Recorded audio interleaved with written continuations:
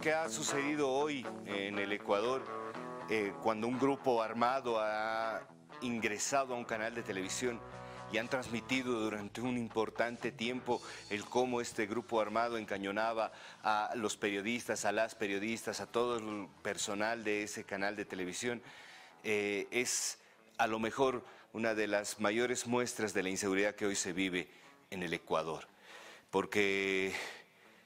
todo tiene que ver con una suerte de dinámica que desde eh, el narcoterrorismo se ha empezado a generar en la sociedad ecuatoriana, pugnas entre grupos, la fuga de una cárcel de uno de los principales eh, narcotraficantes que tiene eh, ese país ha generado días de verdadera zozobra, centros comerciales saqueados,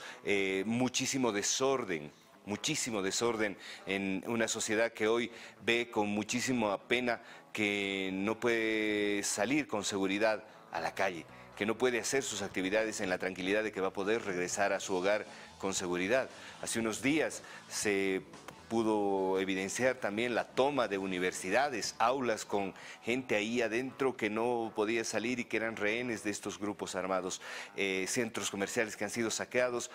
nada. Lo que hoy vive el Ecuador es doloroso, doloroso, doloroso de verdad. Y a lo mejor nos manda un mensaje importante a la sociedad boliviana. Y es que está bien de alguna manera prestarle atención a las tensiones políticas, está bien de alguna manera querer ser parte de alguna de ellas y formar eh, criterios y, y empatizar con alguna de las partes, pero lo que más nos debería preocupar es nuestra convivencia lo que más nos debería preocupar es la paz social, porque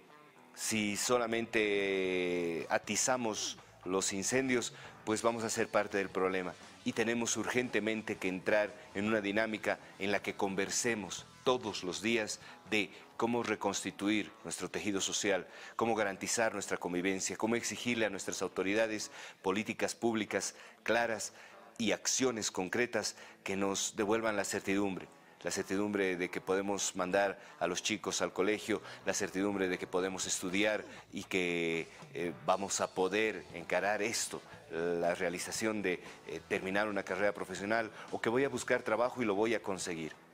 Ojalá estas sean las preocupaciones de nuestras autoridades y no solamente alimentar una de las partes del relato, oficialistas u opositores. El gran inconveniente es que solamente nos quieren colocar en uno de dos polos que hoy están pidiendo a gritos una tercera eh, oportunidad desde la cual podamos pensar que vamos a seguir construyendo país, desde la cual vamos a poder seguir caminando en paz. Ojalá no nos pase lo de Ecuador y a nuestros hermanos en el Ecuador mandarles de verdad nuestra solidaridad.